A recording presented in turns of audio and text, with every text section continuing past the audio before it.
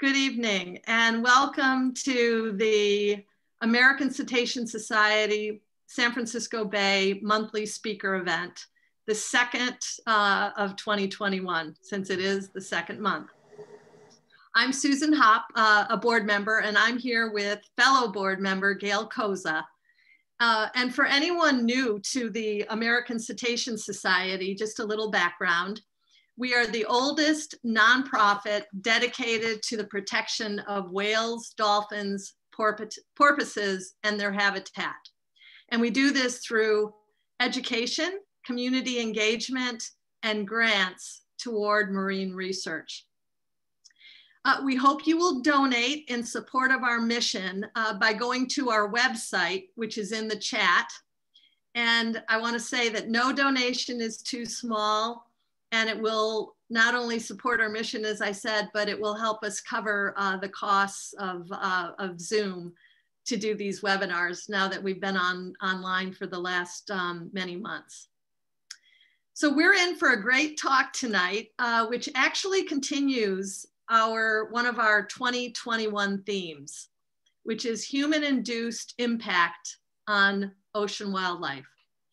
We are recording this session and we encourage you to put questions in the Q&A and we'll do our best to get to them uh, at the end of our, our speaker's talk. So our talk tonight is Vanishing Vaquitas, Lessons from a Humble Porpoise. And we're actually very thrilled to have Dr. Barbara Taylor with us who as much or maybe more than anyone is on the front lines of the plight of the vaquita. So let me start by telling you a little bit about Dr. Taylor as an introduction.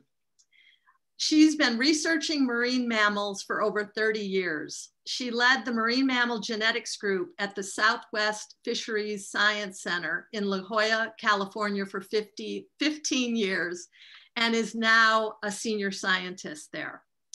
The group uses genetic data toward conservation and promotes guidelines and standards to facilitate naming new taxa of cetaceans based primarily on genetic data. She specializes in estimating risk of extinction and has worked with some of the most endangered species. Uh, Dr. Taylor chairs the Conservation Committee of the Society for Marine Mammalogy and serves as the listing authority for the Cetacean Specialist Group of the International Union for the Conservation of Nature. In 2016, she was awarded the Society for Conservation Biology's LaRoe Award for her outstanding career achievements in translating conservation science into real world conservation efforts. She has been co-chief scientist on all Vaquita surveys. She is a member of the Vaquita recovery team, the steering committee for the acoustic monitoring project, and led the search effort for the attempt to take vaquitas into captivity. She co-chaired a workshop on options for cetacean conservation in 2018 and chaired a 2019 workshop to develop a one plan approach for Yangtze, Yangtze finless porpoise. And I gather that's in China. But anyway, thank you so much, Dr. Taylor, for being here with us. And uh, we'll turn it over to you now. Great. Well, it's my pleasure to be here. I'm very impressed that people are still willing to come out and learn new things in their evenings. Um, and I hope that we uh, engender a very lively discussion. I, I, I wrote the talk, um, I hope to, to get the juices flowing. So I'm going to talk about the Vaquita, of course. Oh, maybe I'm not going to.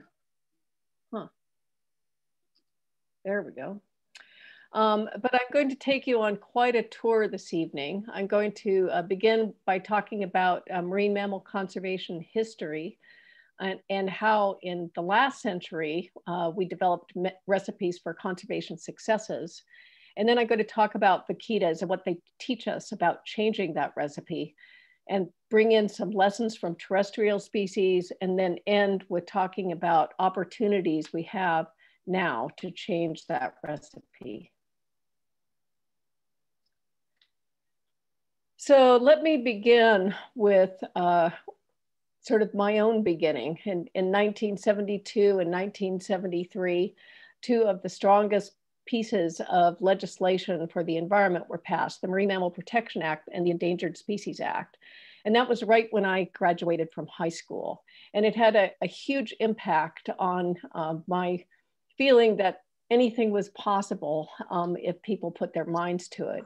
And, and what you see in the top graph is the depressing sequential depletion of all of the great whales of the world. There were over 2 million that were killed in the Antarctic, and in the North Pacific, there were over 200,000 killed.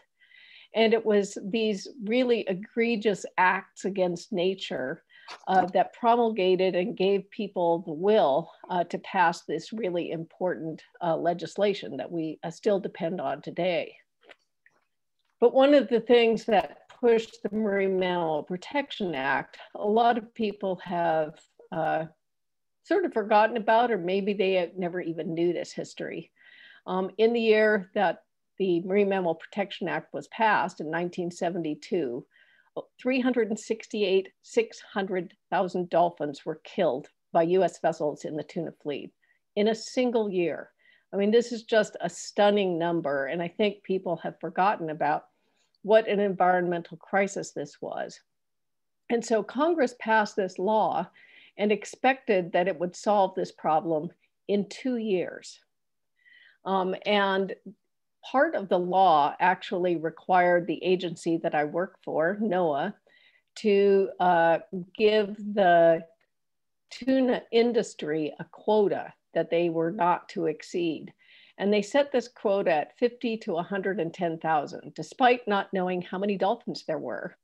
Um, and it was immediately challenged in court. And the courts responded very quickly. Um, and Judge Richey ruled before issuing any permit for the taking of a marine mammal, the secretary must first have it proven to his satisfaction that any taking is consistent with the purposes and policies of the act. That is to say, that taking will not be to the disadvantage of the animals concerned. If he cannot make that finding, he cannot issue a permit. It is that simple. And so by this uh, ruling, basically that judge changed the, the burden of proof. You had to show no harm before it was permitted. And you can see the result in the decline of the number of deaths of dolphins. And it was driven both by research, um, telling how many dolphins there were and, and how much killing they could sustain, but also by research into changing the gear. but that wasn't the end of the story. Um, even though the, the change in the fishing gear that allowed them to surround the dolphins and the tunas and let the dolphins escape was uh, an amazing uh, invention. It cost time, and time is money. And so the tuna fleet switched its flag from being a US tuna fleet to flagging with other countries. And you can see the number of dolphin deaths started to go up. So in comes this fellow, Sam LaBudde, who went undercover uh, onto a tuna vessel and filmed dolphins being caught live in nets and pulled up and smashed in the blocks on the, on the tuna vessel. And that was showed to millions of Americans on the evening news. And it had an um, enormous uh, effect. There was a huge uh, consumer boycott of tuna. Um, and the uh, StarKist company sat down with the NGOs and agreed to have a dolphin safe label that you can still see on your tuna cans today. Um, and the other tuna canneries followed suit. And so this was really something that was consumer driven, you know, picked up by the, the, the industry and it was only later that that was uh, added on to the Marine Mammal Protection Act um, as part of the law. And I think that's a really important lesson um, that that consumers can have a really important effect um, that uh, drives some very important conservation actions. But nevertheless, um, from the time the Marine Mammal Protection Act was passed until that was finally more or less resolved, over 2 million dolphins died. Um, and it took many, many years. And it's just evidence that these things take a long time. And if they if they hadn't enacted the law, certainly millions of more dolphins would have died. But still, these things take time and we don't always have that time. The other influential thing early in my career um, was I worked out on the ice um, with the Eskimo whalers um, to try to determine how many bowhead whales there were. The whalers um, were accused um, of taking too many whales um, in the early 1980s. Um, and the International Whaling Commission and the US government uh, put pressure on the whalers to uh, show that this endangered species was not being further endangered by whaling. And so the communities totally took it on. They formed the uh, Alaska Eskimo Whaling Commission. Um, they came up with the abundance estimates, uh, working together with the scientists, um, and came up with their own quota system. And today, uh, most of the bowheads that are swimming around out there were born since I was a 20 something year old out on the ice. So, a really important uh, success story that was driven by community conservation. So what made these laws and rules effective? Well, governmental will that was fueled by public support, empowered implementers, enforcement, or at least fear of enforcement, users that were motivated to sustainable use, data to drive the management, NGOs and courts to check the implementation, a well-educated and concerned public, and conservation issues that could be solved through regulatory mechanisms. So it takes quite a, an elaborate recipe to have a conservation success. And unless you have all of those things, um, you don't have a success. And, and so in, in the last century, um, these ingredients, um, if you put them all together, um, really could turn things around. Now I'm going to talk about some failures um, and how we have to change that recipe. So this is a, a, a Yangtze river dolphin or a baiji. And uh, it was the most critically endangered marine mammal throughout the late uh, 1990s and into the early 2000s. Um, and the uh, issues that were facing it in the Yangtze River were not being resolved. so in 2006, I was part of a, the group that you see here that went out to try to find the last of the Baiji to take them into Oxbow Lake reserves where they could be protected from the many hazards they were facing in the Yangtze River. We covered their entire habitat four different times, both visually and acoustically. And we saw or heard not a single Baiji. And we had to conclude that the species that had been on the earth for 35 million years had gone extinct while no one was looking. This was a, a tragic outcome, and it certainly stiffened our resolve to not let that happen with vaquita.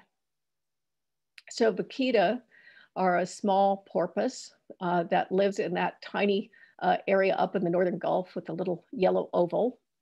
Um, it's uh, called Phocoena sinus because it lives way up in the top of that sinus.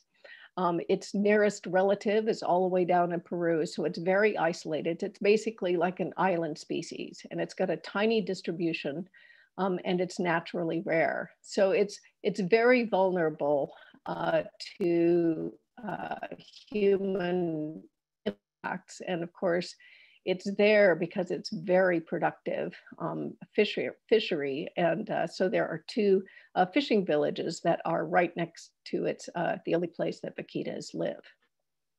So because they were uh, seen dead in fishing nets, Lorenzo Rojas Bracho, who has led uh, vaquita science uh, right from the beginning, and I wrote a paper way back in the 1990s um, looking at the important threats to vaquita. And we found that there really were no threats from pollutants, inbreeding depression, or the lack of the Colorado River flow.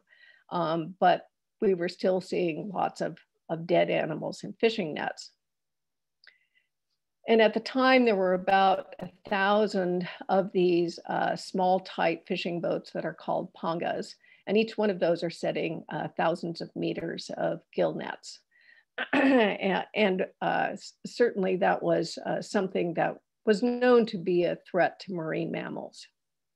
So Caterina D'Agrosa did a study uh, in 1993 to 1995, and she found that about 78 vaquitas were being killed annually, and they were killed in every single type of gillnet.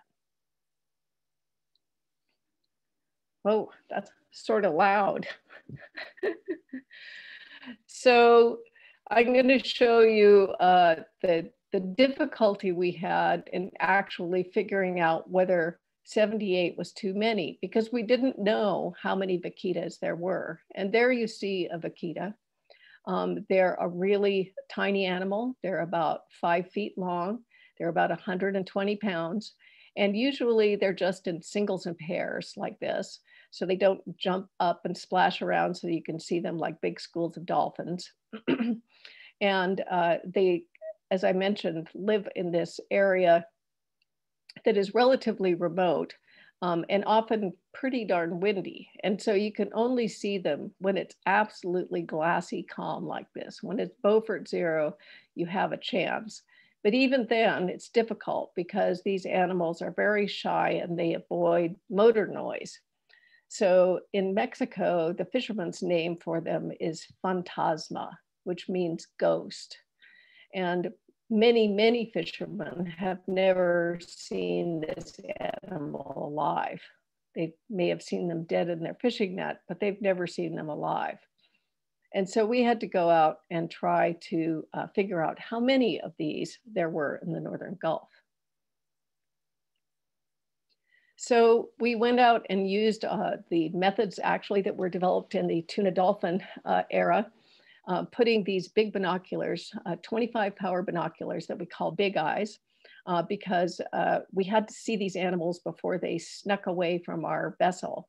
Basically using binoculars, it's extremely difficult, if not impossible to, to see them. You just can't see far enough with regular binoculars. So we used these big eyes and you can see at the very top a whole range of them um, with our very top uh, observers. And in 1997, we estimated there were around 600 vaquitas. And what that meant was, given the life history of this species, which is very slow growing, um, that 78 vaquitas was unsustainable for a population of 600 after the tragedy of the Baiji, um, we came back and resolved that we were not going to let vaquita slip away uh, unnoticed. So we went out and did another big survey in 2008, both to estimate abundance and also to develop a way to monitor their status every single year. So the abundance estimate showed that there were only about 250 vaquitas left. Um, so 600 down to 250 in about 10 years. And that was driven in large part um, by uh, gill netting for shrimp, which was exported to the United States. So we, we have a great deal of blame to go um, in the problem of, of uh, vaquitas being killed accidentally we found that because vaquitas are compulsive echolocators, that's how they find their food in this murky water. They echolocate about 10 times higher than bats. And this passive acoustic recorder that you see on the right, it's about uh, three feet tall there. And you can anchor it at the bottom and it records uh, the event of a vaquita click every time a vaquita click happens. Um, and so it's called a passive acoustic uh, monitoring device. And uh, we found that we could uh, monitor the status of vaquita and how it changed every year using a grid of these uh, CPODs. And we typically would put them out all summer. And so we would gather over 3,000 days of data per year. And that allowed us a pretty precise ability to monitor the trends uh, in abundance. Here's the, the actual grid. Let me orient you a bit. Um, this little point, San Felipe, the village of San Felipe is right here. The Colorado River is up at the top. This uh, faint red outline is a vaquita refuge that was set aside by the government of Mexico where no gill netting was uh, allowed. And so we set our detectors in a grid. Um, CPOD was in at every one of those circles um, and I used that to uh, gather data to tell us uh, how the vaquitas were faring. And what we expected and what the government of Mexico expected was that because that area represents about 50% of the full distribution of vaquitas, that that decline that we saw uh, in the previous decade would either stop or the animals might even increase a bit.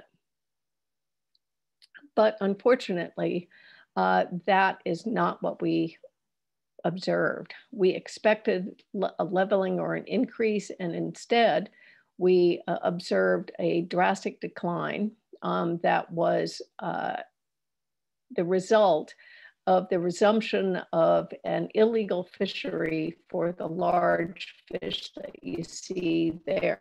Actually, that's a fairly small totoaba.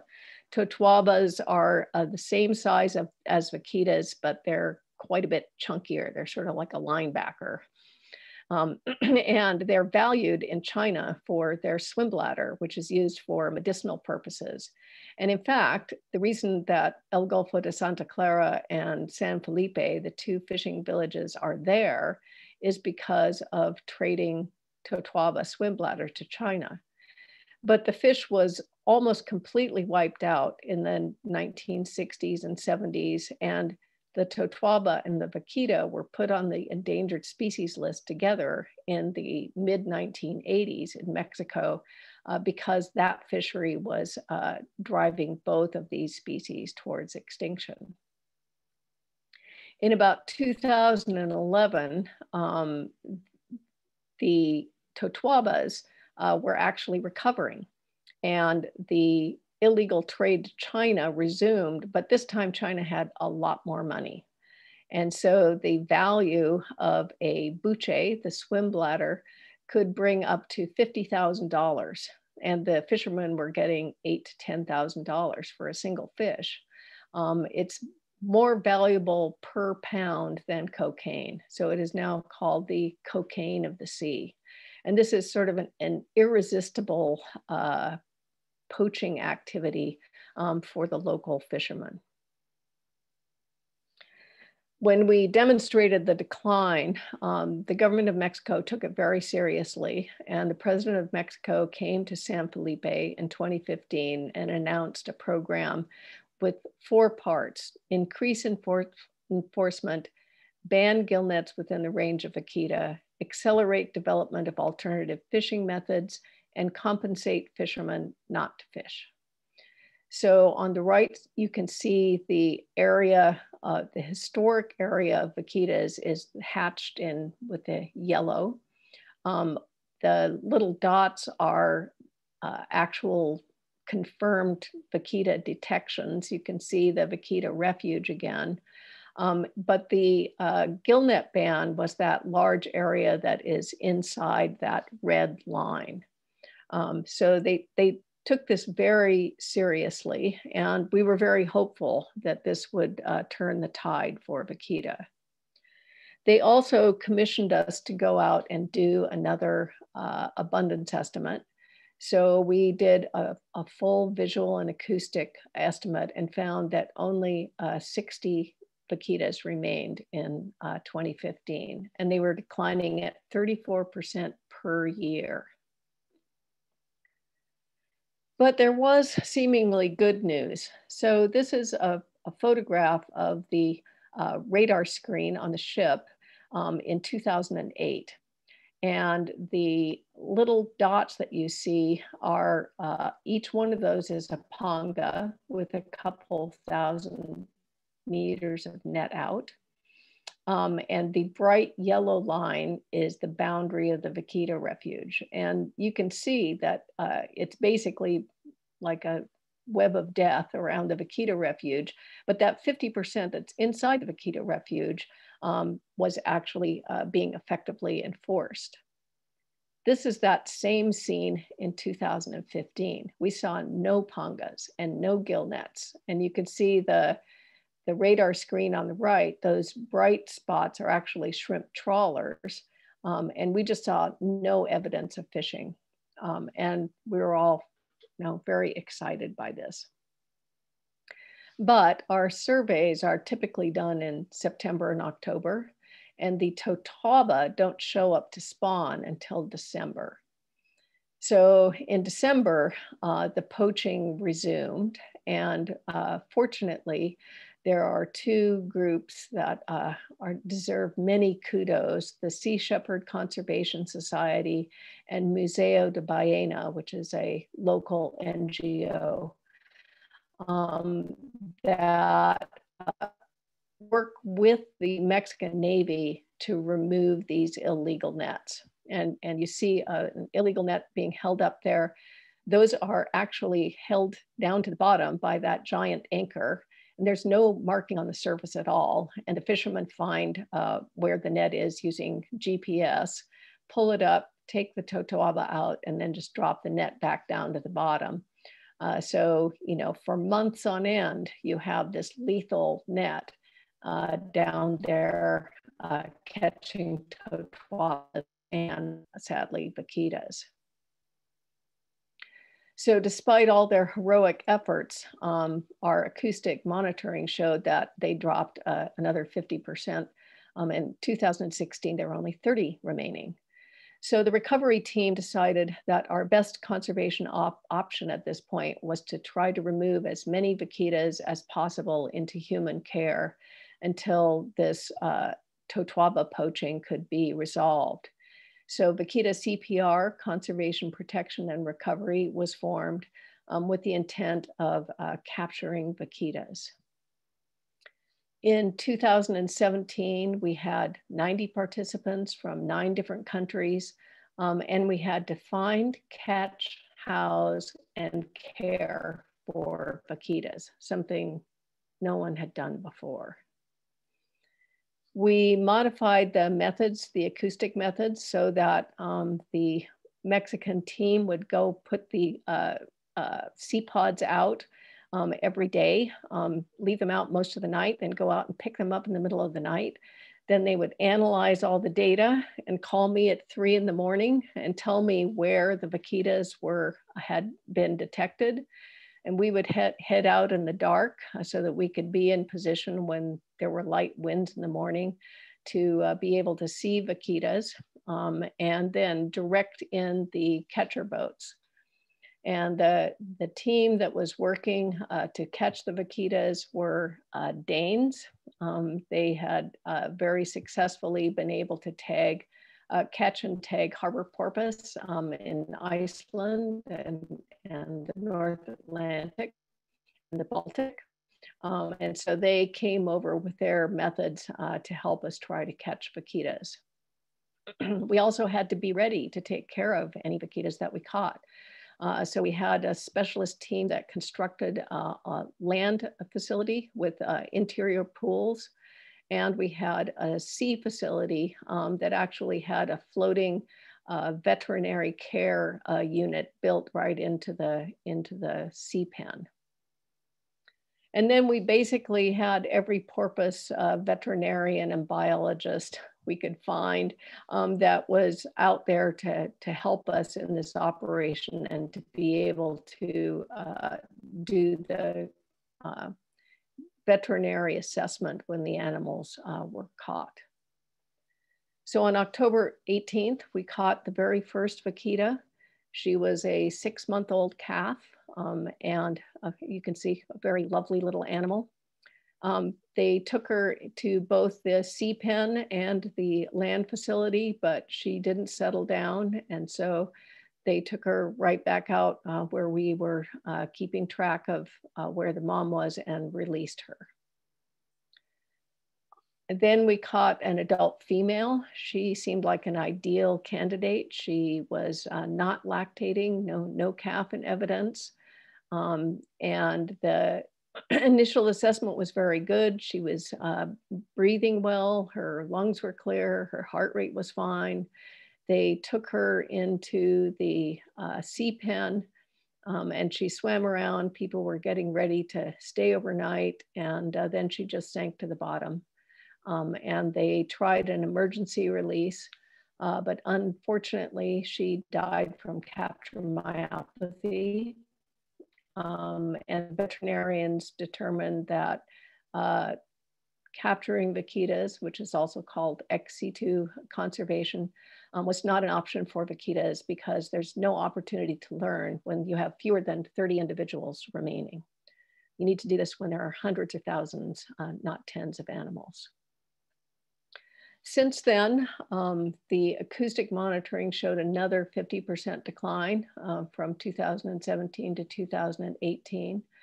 Uh, and the animals have fallen back to a very small area, which the recovery team has named the zero tolerance area, um, where uh, we pleaded with the government to just guard that area with everything you can. Keep the nets out of where these vaquitas are are basically making their last stand.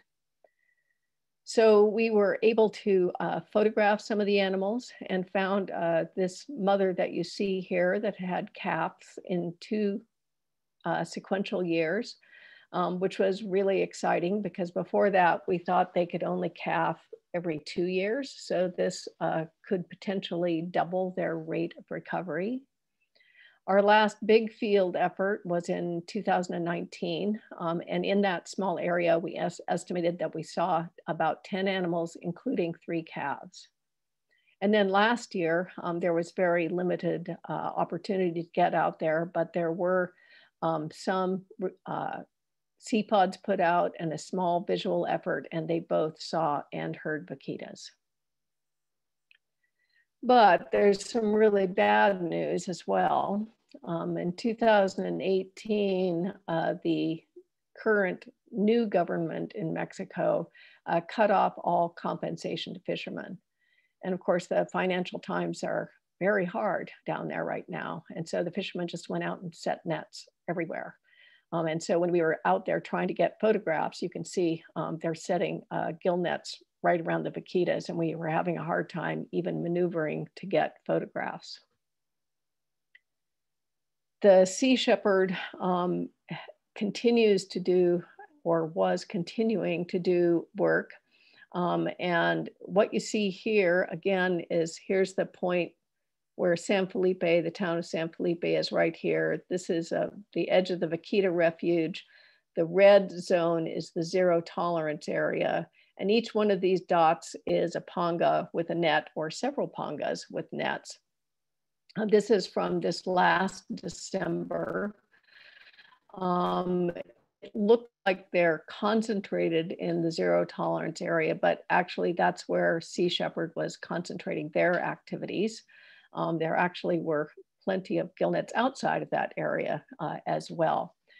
Unfortunately, on December 31st, um, the Sea Shepherd vessels were under attack um, by uh, some violent uh, fishermen who were throwing Molotov cocktails at them. And uh, they were uh, leaving the area, and a panga swerved in front of one of the vessels. Um, and unfortunately, um, one of the fishermen was killed. So the Sea Shepherd has now left the area. Um, there's no uh, net removal going on.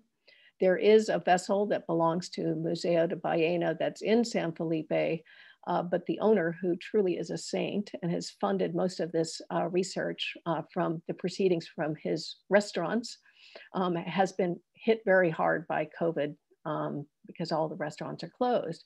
And so there's no operational funds uh, to continue the net removal. So it's a pretty desperate situation.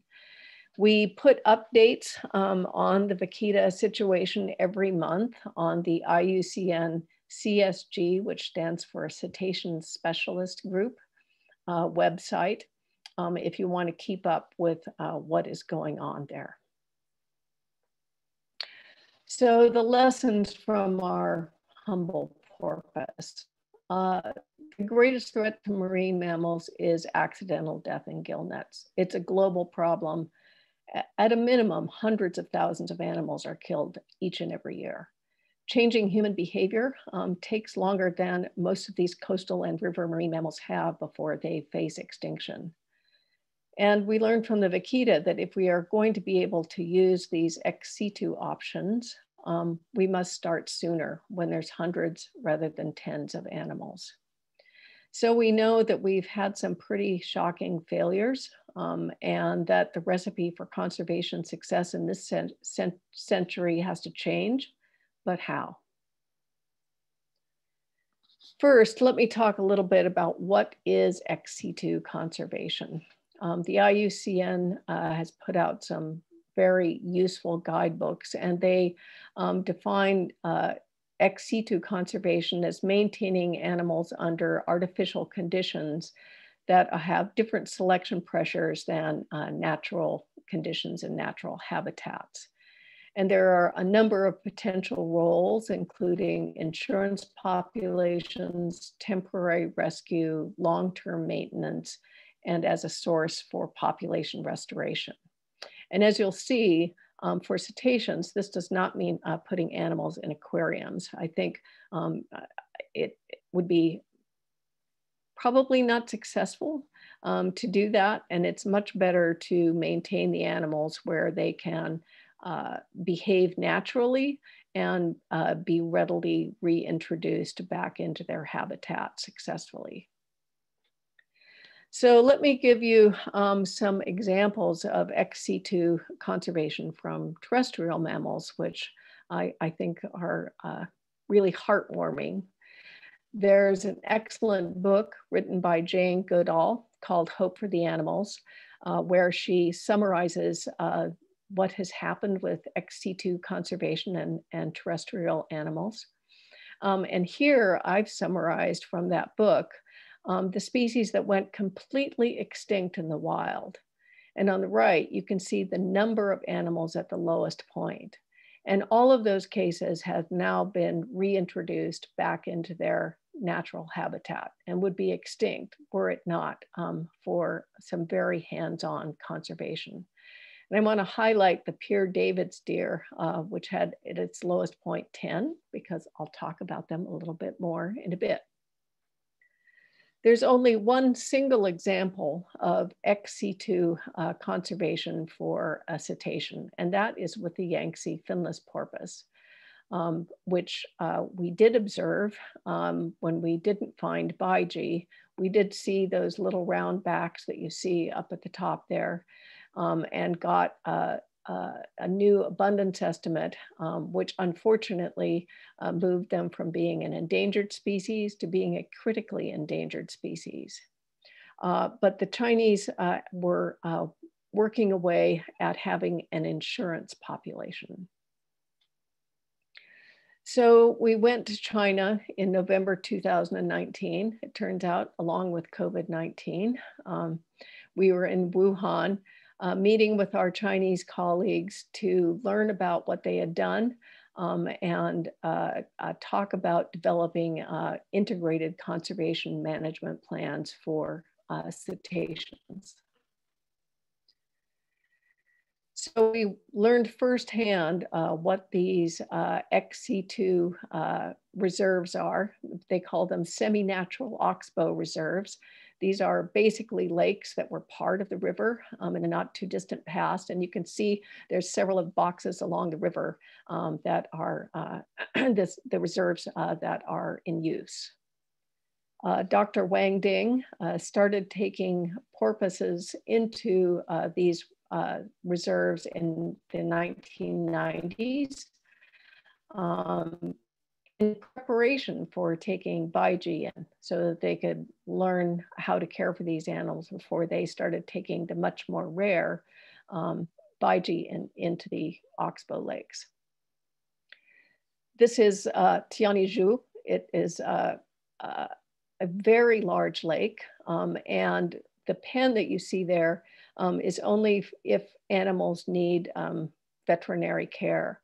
But there's about 125 porpoises that uh, live and feed and breed and basically lead a natural life in a, a very large lake. Um, and they basically lead the same life that they would be living if they were in the river, um, but they're completely protected from um, all of their threats.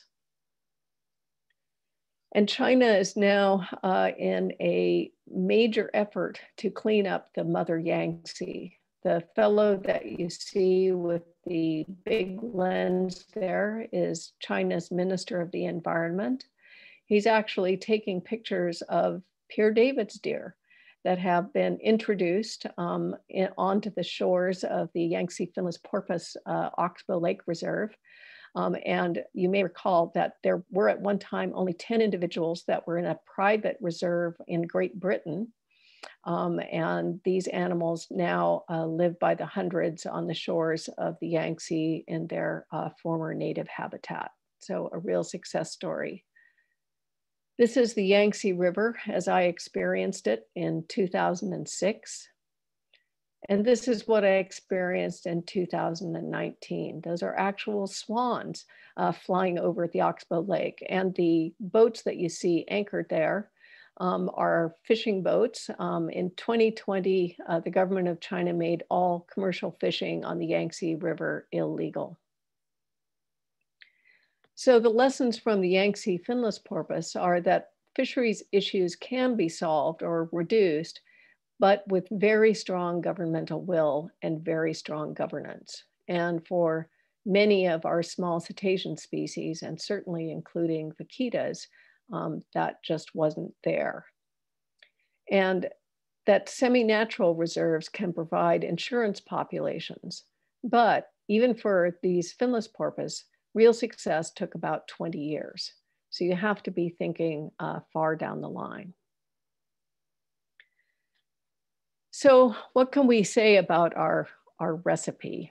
Um, basically, the main elements, I think, uh, are remain the same, but they need to be greatly augmented. Um, the users uh, need to include all of the stakeholders that will be affected by conservation actions. The implementers includes not only enforcement, but also parties that facilitate economic and social changes. The scientists includes not only animal specialists, but social scientists. And finally, and very importantly, the courts includes establishing a functional system of justice. And all of these take time. So we need more tools in our toolbox and we need tools that buy us the time that we need to save these species. So in 2018, um, a group of us that were involved in Vaquita CPR, plus a, a, large group of biologists that worked with other small cetaceans that are also endangered or critically endangered, met in Nuremberg, Germany to discuss ex situ options for cetaceans. And we've just uh, published the publication that you see there on the left. It's available on the IUCN website. And through that process, I think we really came to appreciate that it isn't so much talking about ex situ conservation as it is integrated conservation planning for cetaceans. That it takes so long to learn about how to, what the best options are for these animals, that we need to start working to learn about how do we deal with capture myopathy? Uh, decades in advance. And, and a lot of what we learn can be learned in the process of learning about in situ conservation. You know, where are these animals spending their time? What kind of food are they eating? Why are they running into these nets? So integrating these two groups together, working together, over the decades is going to give us the fill the information gaps that we need to be able to do emergency conservation should we need it. So what can be done for vaquitas? Well, I truly believe that vaquitas could recover if we just stop killing them. We just uh, published a paper um, of the full vaquita genome that uh, came from the living cells from the female that died, uh, but her cells live on in the San Diego Frozen Zoo and provided high quality uh, DNA that showed that vaquitas have been naturally rare for hundreds of thousands of years and that they don't show any signal of inbreeding, um, which is very important to know that they should be able to recover um, even from these very low numbers. And certainly we're seeing lots of fat, healthy calves. There are great examples of recovery. Um, Harbor Porpoise in San Francisco Bay um, and Monterey Bay. You know, once you stopped the, uh, the gill netting, um, the animals came back. It might take a while, um, but, but they did come back. Northern elephant seals um, were completely extirpated from California, and there were only roughly 30-ish of them, no one really knows, on the island of Guadalupe off of Mexico. And now, as everyone knows, we have hundreds of thousands of them fully occupying their historic range. So I think the animals can recover if you give, a, give them a break, um, but unfortunately, they're not getting that break. Um, we need to support the net removal and guarding the zero tolerance area. And funding is really desperately needed at this point. And there still needs to be pressure brought to bear on Mexico to actually take actions uh, to guard the ZTA and to support alternative gear training and use. So I'll conclude with uh, some broader questions. How, how can Americans stop extinctions of small cetaceans? Um, and, and I think a lot of that has to do with being a, a, good consumer. Americans are some of the largest consumers of global seafood. And we need to ask questions about whether our seafood has been caught with gill nets, and we need to support sustainable fishing. It's all about sustainability. And I think, you know, clearly we're in a crisis. We're in this sixth extinction. We're suffering uh, the uh, climate change crisis and the pandemic crisis. All of these are global things. And maybe it will inspire us uh, to see that, like, the, it's a much bigger crisis than in the ni early 1970s when that strong legislation was passed. Um, and maybe now that we're seeing these crises and seeing the results of our actions, um, we can embrace that we need to live sustainably on this planet. Thank you very much. Thank you, Barbara. Quite a um, quite a talk and thank you for sharing all of your experience and uh, and the, the, the, the, questions and the opportunity that we all have to, uh, to make um, changes. So I think we have some good questions. And, uh, but before we start the questions, I also just want to acknowledge that some of the beautiful artwork that we saw in, uh, in the slides is are also, um, Dr. Taylor is also an artist. So pretty wonderful. Good therapy.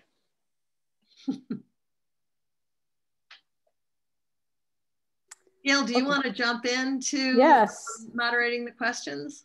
Yes, yes. Um, okay, let's see. We have some great questions here. Um, and if you joined late, um, please feel free to put any questions that you may have into the Q&A section of Zoom. Um, all right, let's start with Sea Shepherd. You, you mentioned the, the great work that Sea Shepherd has been doing, important work, and their unfortunate um, departure. Um, we just had a couple questions about what you think about their gill net removal methods and have you worked with them directly? Um, and also, do you have any idea if they're planning to return to the area and continue their um, their project there, their mission there? Um, yes, I have worked with them directly, um, and I I think the world of them. I mean, they they've just been amazing, committed. I mean, if you want to see conservation in action, um, you know, seeing young people from all out of, all over the world out there, you know, pulling up these stinky, horrible nets with all sorts of gross dead things in them. I mean, it's really, it is really hard work and it's heartbreaking work. I mean, they do get to release some animals alive, but man, it is a slog. And they do it year after year. And they've had two dedicated vessels down there every year. Um, so I, I think they've been doing a tremendous job. And really, without them and Museo de Ballena, I, I think we wouldn't have the vaquitas today. So, you know, I think they're great. Um, it's been a really difficult situation, especially the last couple of years, as the violence against them has increased. And, and in fact, last year, um, they were gone even before COVID. Um, they were shut down uh, partway through the season because of uh, active violence against the ships. And, you know, the ships are like, you know, doing everything they can um, to, to be able to continue to operate um, in a situation like that, but it's difficult. And, and you should know that they actually have Mexican Navy guys on board with big guns. I mean, they're, they're they're not out there entirely by themselves and they're escorted by navy boats and in constant contact with the navy so it's it really is a joint operation um, but whether they can continue um, right now, um, they are in negotiations with the government of Mexico to um, change their memorandum of understanding. And a lot of us are really worried about it. I mean, they're, they haven't given up. They're staying in the area. Both ships are in Mexico somewhere um, and hoping to go back. The Totoaba season is just starting to peak, so uh, hopefully they can come back and start doing net removal operations. But um, nobody's really seen what the government of Mexico is writing up in the changed memorandum of understanding, um, and uh, we're all we're all very worried about it. Um, but we hope that they can that they can get back there. Wonderful, thank you. We hope so too. um, another question about surveys. Do you know, is, is there a plan for another uh, vaquita survey this year um, to, you know, count the vaquitas, monitor health? Um, are, and also related to that, are any boat surveys able to be done with a quieter vessel um, to reduce disruption to the vaquitas? So let me tackle the first one. Um, we hope we can get down. Um, the, the last, the 2019 uh, effort that we did, we actually used the Museo de Ballena's boat, ironically called the Narval, the only Narval in Mexico. Um, and the one of the Sea Shepherd vessels. And they now have purchased their own set of big eyes um, and are helping with the research. So um, I'm optimistic that we can get back out there again. Um, and our observers that we've had since 1997, hugely dedicated. Um, I, I, think they'll all come back. So hopefully we'll be able to get out there in the fall um, and, uh, you know, check on the animals and see how they're doing. The acoustic team also has been um, working on coming up with ways that they can uh, still get some data and not have their equipment stolen. So that's one of the things I didn't talk about, but unfortunately, um, it's been a full court press on science and conservation. And so we had a lot of our acoustic uh, detectors stolen. And uh, so now they're they've come up with some sneaky ways to do it, which I won't tell you about. but they're hoping they can get out and get us some more acoustic data. And, and actually, I, I should say that, you know, humans are, you know, seeing is believing. but really the best data are the acoustic data because you can leave them out there. I mean, for this rare animal, you can leave the detectors out there for a lot longer period and get a much better idea of you know where the animals are and where their habitat is but you can't see whether there's calves. And that's just so important to provide people hope for the species to be able to get out there and actually see that they're still having fat healthy calves. Thank you. Um, let's hope there will be a survey um, okay, a couple of questions related to the population and the genes, uh, gene pool. What's your estimate for the number of remaining um, breeding age females and males in the vaquita population? And do you think that population is so small that the gene pool is, is too far depleted? You did mention earlier that there was some really solid DNA evidence that um, the size has not been a problem. There hasn't been inbreeding. So I think your answer to that is no, but I'll let you elaborate about that.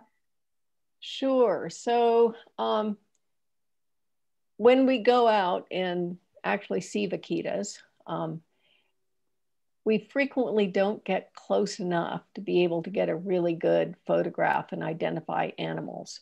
So we have to use a process called expert elicitation to use all the expertise out there to try to estimate the number of animals that we saw.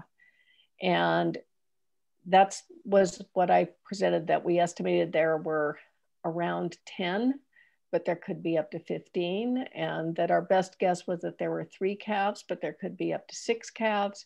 So, you know, it's it's very difficult to come up with a very precise estimate. Um, but I, I personally was pretty encouraged that out of seven sightings that we had in a week, uh, six of them had a calf in it. I mean, which to me is like every adult female is having a calf. I mean, basically that's what that says. And they're and they were fat, you know. So I, they're certainly not food limited. Um, so so that's all um, very good news. And what was the second part? Oh, this about the genes. Mm-hmm. So when we looked at the the vaquita genome, so the reason I started into vaquita work, the first time that I met Lorenzo Rojas Bracho, he walked into my office and said, I'm a Mexican student, I'm doing my uh, graduate work, and I looked at the mitochondria of vaquitas, and they basically all have the same mitochondria. And I and I want to know, you know, what can we say about that that will advise the Mexican government on whether it's too late. Now remember, this is when there were 600, right? So, so vaquitas had very, very low genetic diversity, even when we first started studying them. And we have in our collection in La Jolla we actually have the samples from the vaquitas that Lorenzo did his PhD on in the 1990s. And we have some in the 2000s and we have some in the 2010. So we've been able to look across the time to see whether the genetic variability has changed. And basically, it hasn't changed. I mean, they, they didn't really have much to begin with. And when we looked at the full genome, it's basically low genetic diversity, but very even all the way throughout the genome. And when you use some fancy programs that basically look at, you know, what what does that tell us about their demographic history, the numbers of vaquitas through time? It says that basically about 200,000 years ago, um, for whatever reason, it went down to about maybe 5,000 vaquitas and stayed that way for the last 200,000 years. So they don't have much genetic diversity, but on the other hand, um, they've had 200,000 years to purge any genetic load. And so, you know, that, that I think is not, uh, it's not on my list of things to be worried about. Um, as with any island population, though, um, you always worry about, you know, well, what if a disease gets in there? You know, I mean, it's, I mean, they're basically like an island population. And so you, you have to be concerned about that. But it's, you know, nowhere near the level of concern of Totoaba poaching. Okay, thank you. Um, lots of great questions coming in here. Let's try to tackle some more. Um, so we, we did have a follow-up question about in situ conservation. Um, and essentially it was, you know, is, is it really not possible to try again? Uh, is, are the population numbers too low at this point? Um, is that the last hope for them? So we'll tie that to another question, which is, you know, essentially, do you still have hope for the vaquita? Do you think they can come back, even despite all of these challenges that you've talked about tonight? So I think that ex situ, taking them into captivity, um, basically that the veterinarians made the call when it came right down to it. They said, if we went out and we captured another vaquita, we would have no better chance of saving it than we did with the last vaquitas. And the only two vaquitas both showed signs of, of being stressed by human handling. And, and I should point out that capture myopathy is a really common reaction of animals to um, stress.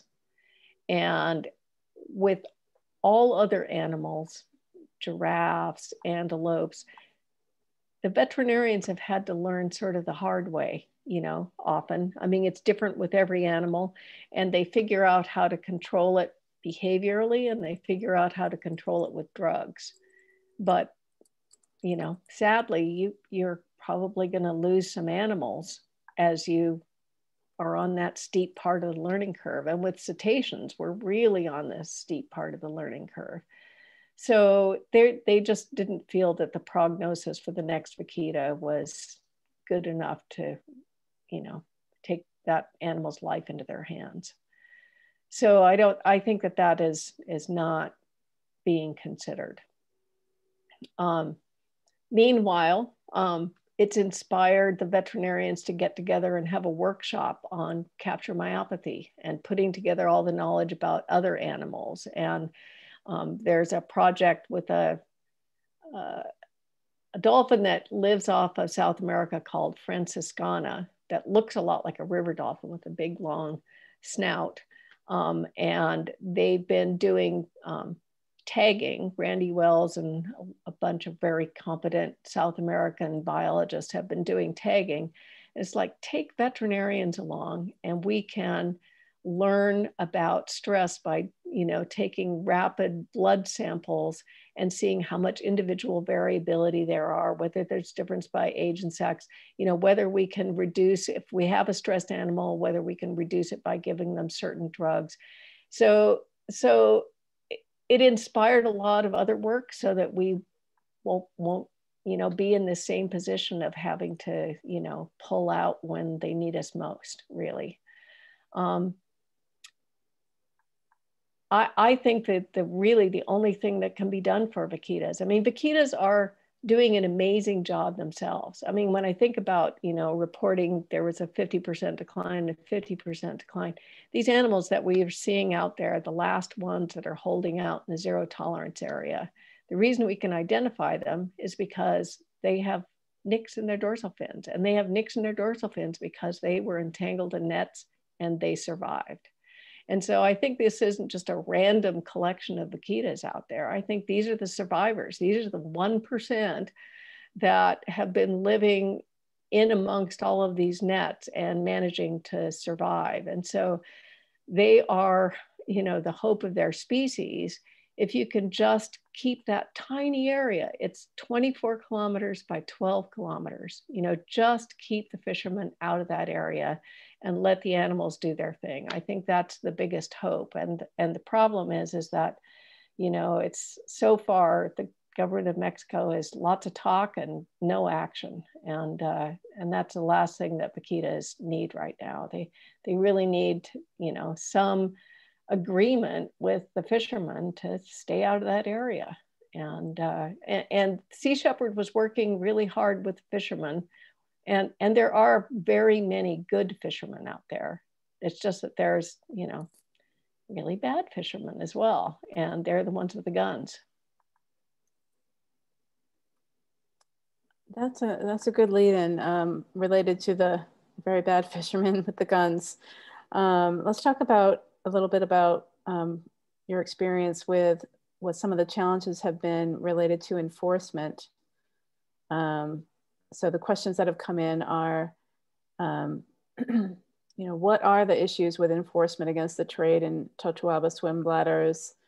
Um, you know, for example, I've, I've heard that there's cartel involvement in, uh, in this Totoaba business now. I don't know if you can speak to that at all and what some of the challenges have been. Um, uh, are, have there been further, you know, efforts at making regulatory changes or are there certain leaders um, to whom we should be vocalizing our concern and um, pushing for changes? Um, so maybe enforcement and regulatory government leadership will to, to do more, if you can tackle those topics. Well, yeah, I mean, so they put the Navy in charge of enforcement, um, but it's a very complicated situation where the fisheries department really has the power to arrest people. And then, of course, the courts have has the power to convict and and put people in jail or fine them. And the Navy doesn't have the power to do either of those. And it turns out the Navy cannot use force against the citizens of Mexico. And once that became apparent, um, I don't know if you saw The Sea of Shadows, but there was a, a movie that was put out called The Sea of Shadows. And in that movie, there's this, you know, basically they the Navy arrests a fisherman and um, there's a riot that happens right at the Navy facility and they basically beat up the Navy guys and the Navy guys just stand there and take it. They just they just get you know hospitalized and it's because they can't use force against the citizens of Mexico and so it's it's still a, a real issue because uh, the current government of Mexico has now said CONAPESCA, which is the fisheries department, is so corrupt that we're not going to we're, we're going to give their power of enforcement to the Navy. But the Navy is still constrained by not being able to use force. And the fishermen know it. And these are the bad fishermen, by the way. You know, I mean, the guys who are, you know, basically poachers. They're, they're, you know, and uh, so I, I, I don't know. I, I don't think there have been any real enforcement actions taken um, since the government put the Navy in charge. So I, I think that awaits to be seen. Um, likewise, there have been numerous laws passed um, to make poaching um, illegal. First, it was a a felony if uh, and was charged as organized crime if there were at least three people involved. So of course there were only ever two people involved. you know, there were these loopholes that were in the law.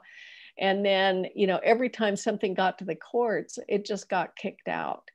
And so basically in both of these villages, there has been no consequences and there's been no rule of law throughout this entire period, even though a lot of the fishermen are begging for it. It's just not happening.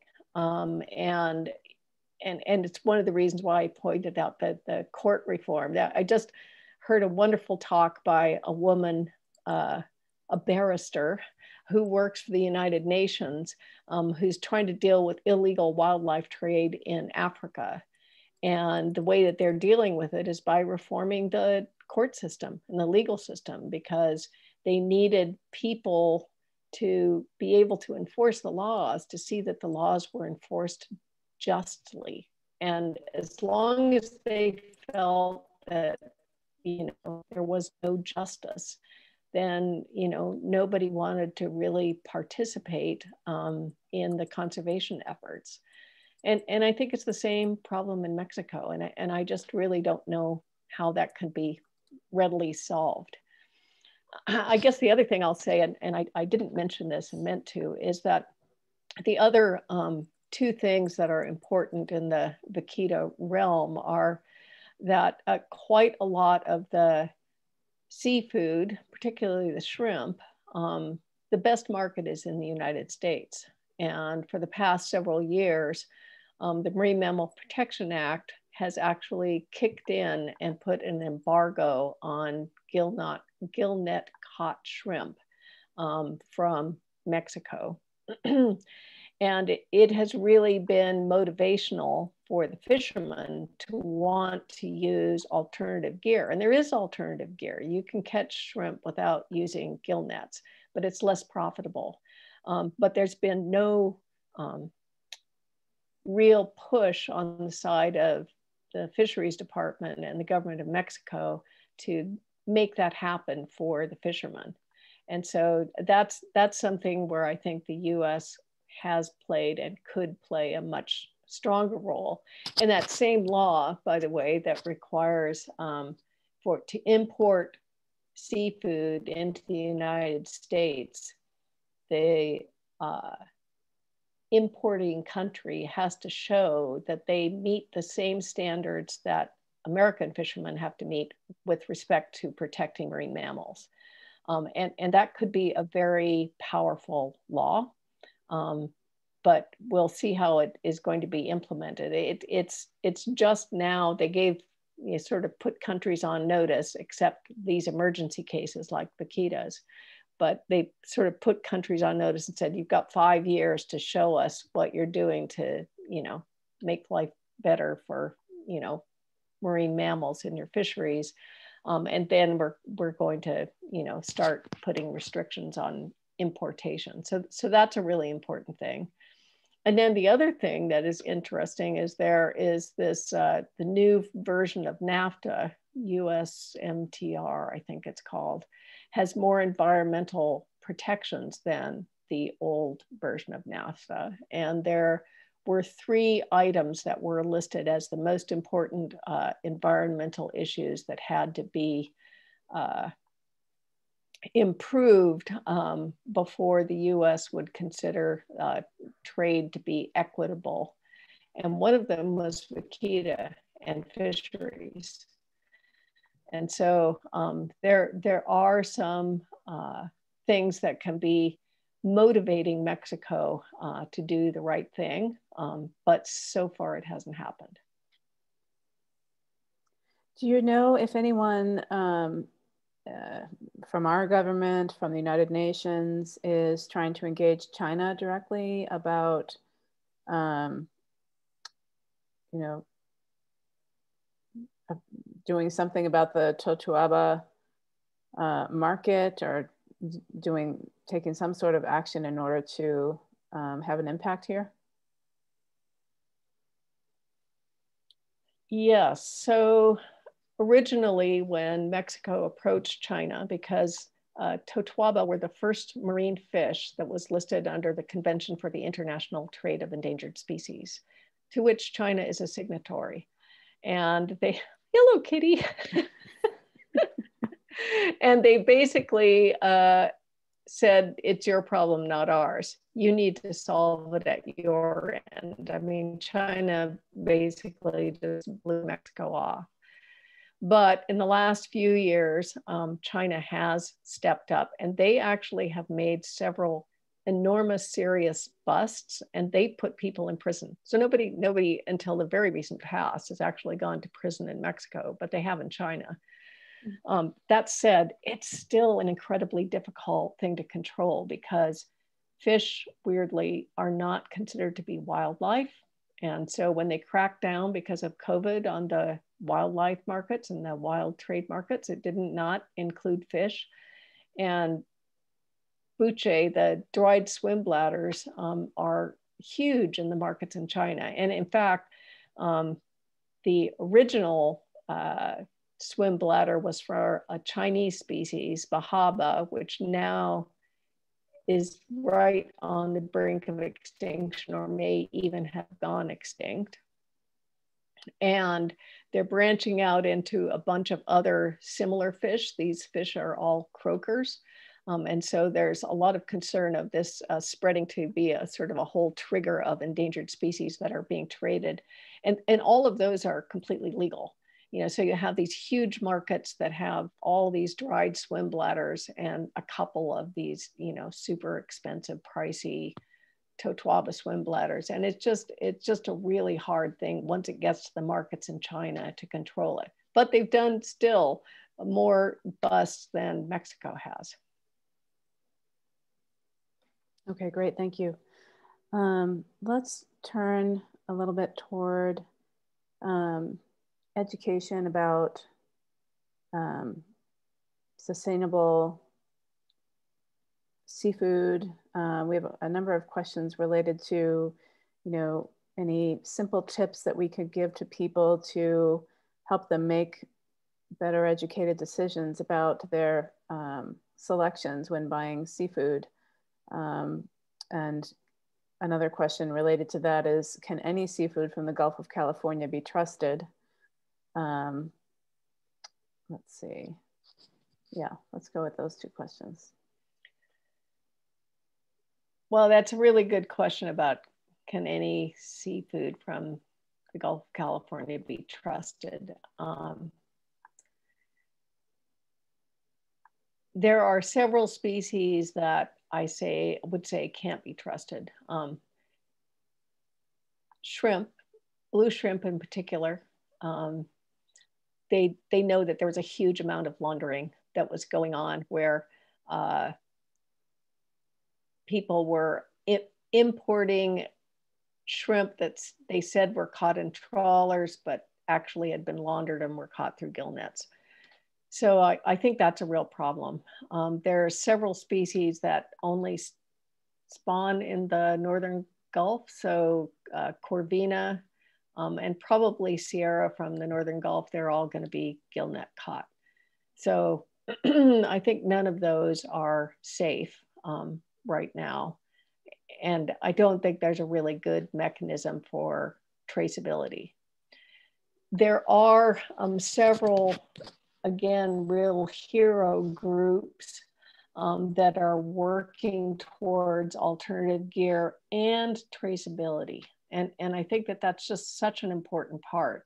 Um, and as part of, you know, trying to negotiate with Mexico to um, do away with the embargo is establishing methods to be able to trace, you know, and make sure that people basically are using the right gear and aren't cheating. And it, they include, you know, putting trackers on all the pangas so that you know where they go, how they've been behaving. You can tell a lot from the trackers about whether they're doing gill nets or whether they're uh, doing trawls. I mean, they're completely different methods. One's passive and one's active. So, so, so, so there are good ways to do that, um, but none of them have been effectively implemented, um, even though the government of Mexico is um, saying they're going to do it, um, they actually aren't uh, aren't funding it and aren't giving the permits to do it. And so, so there are some really good fishermen down there. It would be wonderful to be able to support them um, and to support their um, developing uh, traceability and I have to say, on this side of the border, there have been a lot of um, people who have been really dedicated towards um, sustainability chefs that are, you know, only purchase sustainable goods and work directly with the fishermen to try to get them more money because most of the most of the attraction to gill nets is that they're incredibly profitable. You know, they're a passive gear. You go out there in your panga, you stick it in the water and you don't have to use any gasoline. You just pick the net up, you know, hours later and everything's dead in it, you know. Whereas if you're doing a, you know, a, a trawling type gear, you actually have to pull it and use gasoline. And so it's less profitable. and so somehow the fishermen have to make a living and they have to make up for the differences between these different kinds of gears. And so consumers have to be willing to pay the pay the price for sustainable fishing. Um, but if you if you could see that it really was sustainable and that there really was tra traceability, I, I, think that consumers would be willing to support blue markets. Um, but it's just making it happen. Thank you.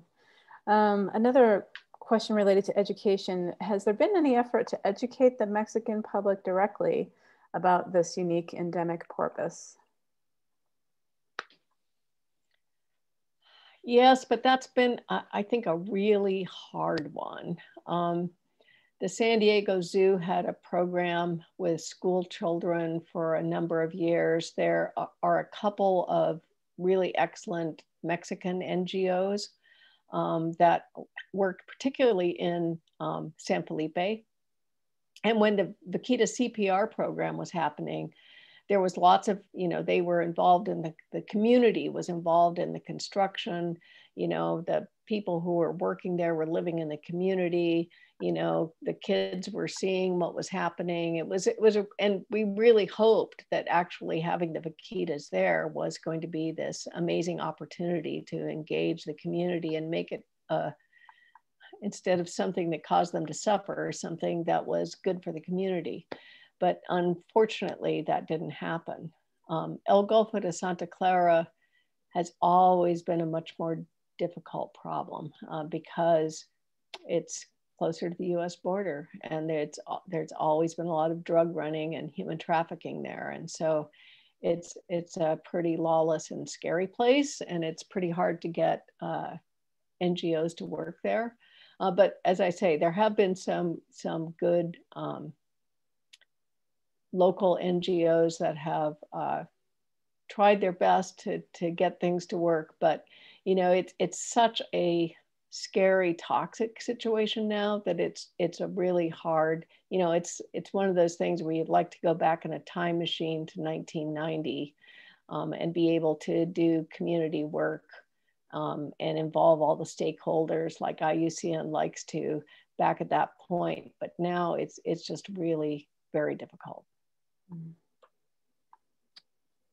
Um, some more questions about the vaquitas. Um, do you know anything about, or do, do you know much about the history of the distribution of the vaquitas and why their range has been so limited? Um, also, do you know um, if there are any closely related sister species, so to speak, um, of the vaquitas? Yes. So um, vaquitas are very unusual in being a desert porpoise. Um, most porpoises live in cold, productive waters. Um, and their nearest relative is actually um, in is Burmeister's porpoise and spectacled porpoises in South America. So what probably happened was there was some period when there was cold water that stretched all the way up um, and that the vaquitas basically got isolated up in that sinus in this perfect little porpoise habitat um, that isn't found for thousands of miles in any direction from there. I suspect, and this is honestly hand waving, but it's pretty educated hand waving. Um, that there's a couple of reasons why they are where they are. Um, you can tell when you're in Vaquita water.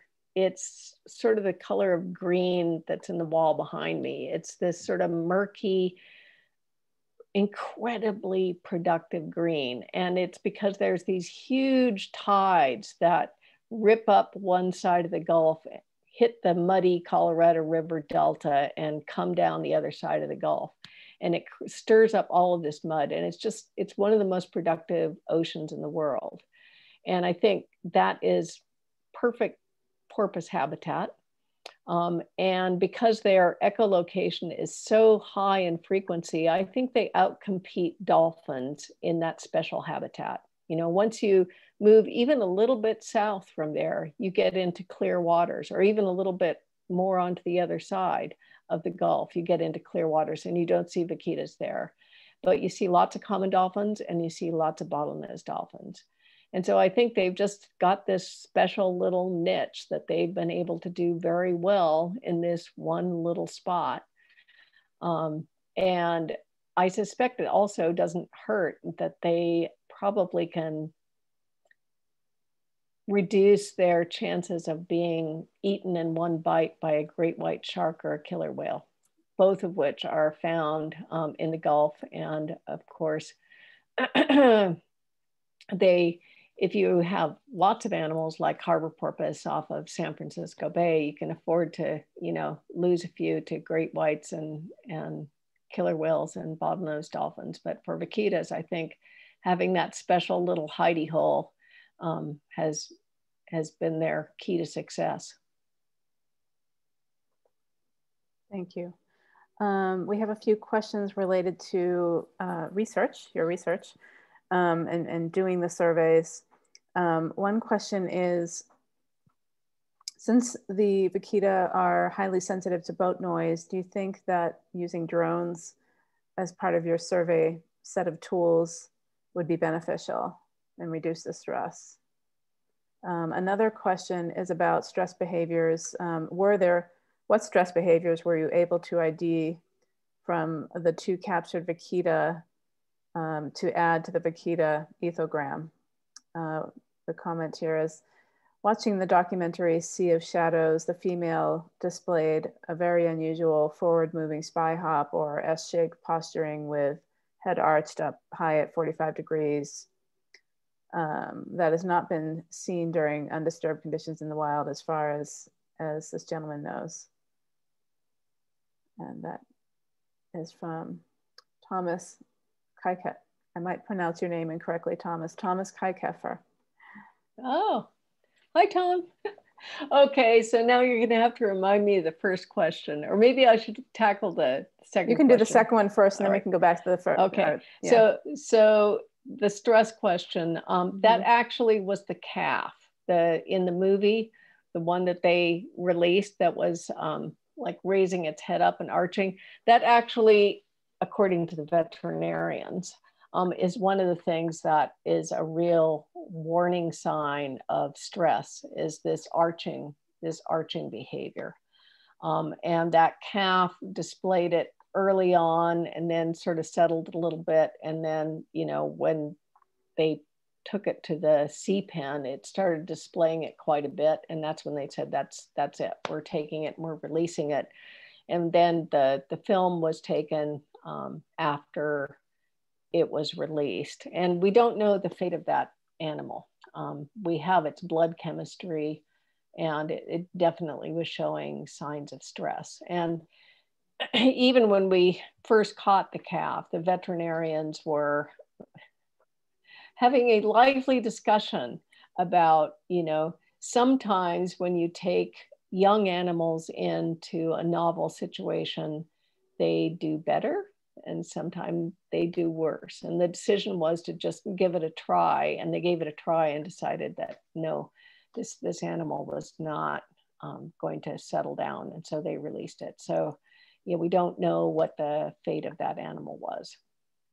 And, and the other question was about uh, reducing, reducing stress by using drones. So right. amazingly, um, they did get some drone footage that was in that movie um, of the animals um, during the one of the failed capture attempts. Um, and it was like they were like super skilled drone pilots and they got the footage completely by accident. Only because they were focusing on the boats and the animals happened to come up. But basically, the water is so turbid that you can only see about that far down in the water. So they they just disappear. Um, and so it, it's very difficult. In fact, initially, like back in the 1990s, we and for harbor porpoise, a lot of the surveys are actually done from airplanes. Um, but we could, we it was tried with vaquitas, and they did a ton of survey and they only ever saw like one vaquita and this is probably back in the era when there were probably a thousand vaquitas left so the water is just too turbid to use it as a survey method but um, I didn't talk much about um, surveys in shallow water. So those big ships, obviously, can't go into the shallow water, and the vaquitas are in shallow water. And so we always, a, a lot of the imprecision in the abundance estimates comes from um, the shallow water area. And so in 2008, we actually used a uh, really cool trimaran with a towed acoustic array on it to do um, the transects in the shallow water area. So that survey actually used a silent, a stealth boat um, to do the shallow water area. Then in um, 2015, that's when we'd switched over to the CPODs. And so that was actually much more effective because we were able to put lots of detectors out there, leave them for a lot of time, and we also put them in the area that we were surveying visually so that we could calibrate between the density that we saw and knew was in an area and the number of clicks that we were getting on the acoustic recorder. So, so that's basically how we make the acoustic visual estimates. I didn't get down into the into the weeds on that one, but that actually works very well. And obviously the CPODs sitting on the floor don't dis disturb the animals at all. Um, what, what you do lose, of course, is that you aren't seeing them. Um, and so you, you don't get group size um, and you don't get whether there's calves or not. And so I think really the best of all worlds is combining the visual and acoustic together. Speaking of acoustic, is there a publication reference on the acoustic data that's been collected? Oh yes, there are many publications. Um, uh, I don't know what the best way to get them to you. I I could send you probably what I could do is I could send you the latest reference, um, which is um, by uh, Armando Jaramillo, and it will reference all the earlier ones. But basically, we did a publication from 2011. At least every two years, we put out a publication on the status and the development of the acoustic data. Great, thank you. Um, we are kind of nearing the end of our time here, so um, I'll try to wrap up with a few questions, um, a few last questions.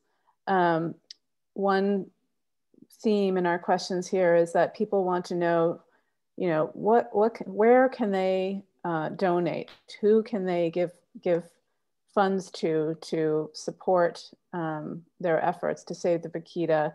Um, one organization that was called out in particular is the Museo, I just lost the name that you mentioned um, earlier in your talk. I don't think you can donate to Museo de Ballena. That's who I was looking um, for. Sea Shepherd, obviously you can.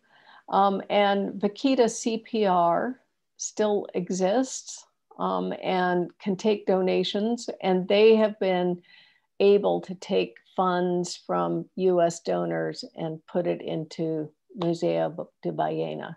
It's the cross-border, the cross-border issue. So, so I think those would be the, the two organizations that can get funds to like net removal efforts. Great, thank you. Um, and then a couple other conservation idea types of questions. Um, have there been discussions about potentially cloning vaquitas? And the other related question is, um, I'm sure there have been discussions about, uh, you know, are there any uh, bay or lagoon areas in the Sea of Cortez or near San Felipe that could potentially replicate the um, the Oxbow success with the Yangtze project um, to create a sanctuary for vaquita. So let me start with the cloning question. Mm-hmm. So we have uh, living cells from both the animals that we captured in the San Diego Frozen Zoo. And a lot of people think that the purpose of the San Diego Frozen Zoo is to um, be able to clone animals. Um, and that is actually not the case. Um, and also, we have no males. So, so it, it would be uh, impossible to de-extinct vaquitas. And, and we did in the years right following, like in 2018, that first effort, um, we made a, a very serious attempt to be able to biopsy um, and try to get some cells from males. But uh, the vaquitas that are left, as I mentioned, they are survivors and they would not let us get anywhere close to them. Um, so I, I really think that option is entirely off the table. But while I'm talking about the San Diego Frozen Zoo, um, they, they are doing amazing things. And it's uh, good for people to know that the real reason that they made the San Diego Frozen Zoo was to be able to keep a, a library of genetic diversity uh, of animals that were at very low numbers so that they could reintroduce that genetic diversity back into the wild population. And a classic example of that is white, white rhinos, northern white rhinos. Um, they have uh, the genes now from uh, 20 northern white, white rhinos, two males that never reproduced. So they are have actually now um, have their first fostering effort going on where they're using uh, another species of rhino to raise up a northern white rhino egg and give birth to a northern white rhino even and from a male that never produced offspring. So so that was the real idea um, behind the, the frozen zoo is to maintain genetic diversity to introduce back into populations. And clearly, you're not going to be able to do that with vaquitas. Um, but it still was extremely useful to have that living cell line um, to be able to, to look into and try to understand I mean, it's still a mystery to scientists. How does a species which with such low genetic diversity manage to survive? You know, it's one of the things that geneticists still don't really understand. And only by really looking into the genes of these species that are naturally depauperate of genetic diversity will we get to understand that. And, and I think be able to say, okay, this species looks like vaquita and they were actually okay. So maybe we don't have to worry about them, but this species looks like, you know, uh, Florida panthers.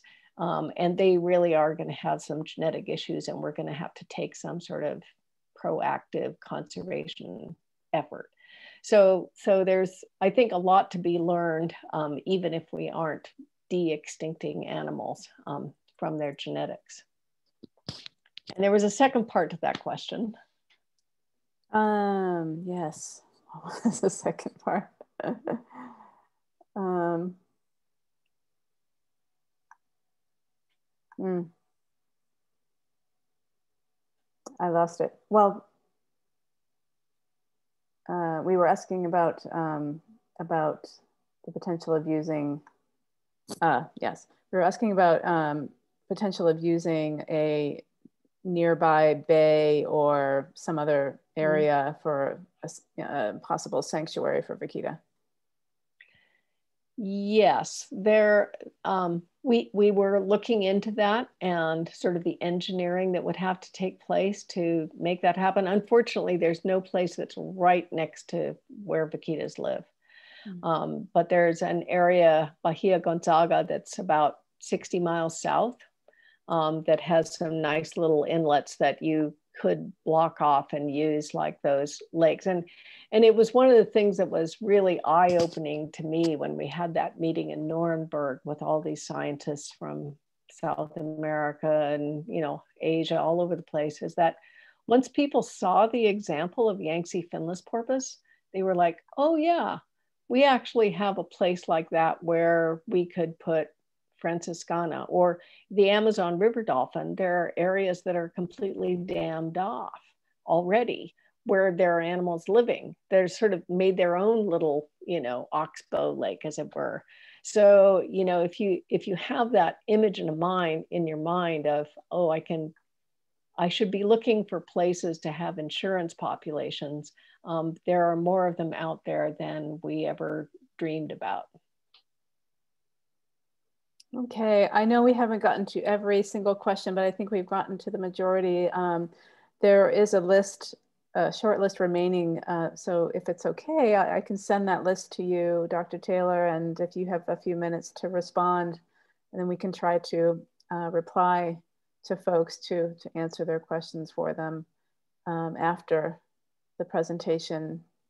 And I will hand this back to Susan. Yeah, what a wonderful talk. Um, just so enlightening, if not sobering as well. And uh, I want you to know, Dr. Taylor, that the reception uh, coming through the, the chat and the Q&A is just uh, gratitude for everything that you've shared and your work. And I think um, the yeah, and the last um, question that may be pretty relevant to many of us is um, given given all that you your involvement, um, really intimate involvement with the vaquitas, um, and with the precariousness and looming extinction, what keeps you going? Yeah. well, you know, there are ups and downs. I mean, you have to be, I think, to be a conservation biologist, you have to be a born optimist. Um, but uh, yeah, I mean, uh, I've been like everyone this last year, um, spending a lot of time out in nature, sort of recharging the batteries. Um, and I think finding those things that make you happy and allow you to do that, to recharge your batteries, um, is a really critical thing. And I have to say that I haven't talked much about Lorenzo Rojas Bracho, but um, he's been my partner in crime and all of the Vaquita work, along with many other people, but him especially. And the pressures that he faces in Mexico with the, you know, just sort of the day to day issues dealing with the government of Mexico, I fortunately don't have to deal with that level of stress, but I so admire the people who do. Um, and, you know, it really is important to give those people pats on the back because they're going through some rough times. And I think we're all going to be facing, it's going to be a rough couple of decades on planet Earth. Um, and so we all need to support each other. Well, that's a great way, I think, uh, to conclude this great evening. So thank you again. And thank you, our ACS community. And uh, we'll be uh, putting the link up on our website under events. And with that, we hope to see you in uh, March. Thank you all. Thank you. Good night. Thank you.